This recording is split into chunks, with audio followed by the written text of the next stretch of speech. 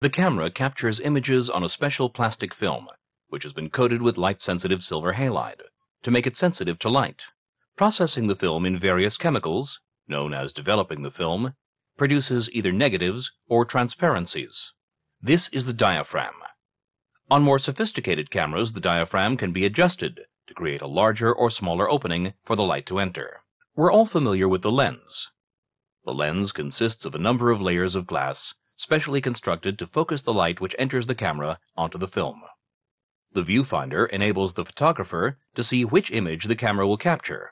When the release button is pressed, the shutter opens for a fraction of a second. In some cameras, it can be as little as one two thousandth of a second. In most cameras, it is between one thirtieth to one sixtieth of a second. This enables the light to enter the camera and the image to be projected upside down onto the film at the rear of the camera. In more sophisticated cameras, the lens can be moved closer or further away from the film. Changing the distance between the lens and the film changes the focus of the camera.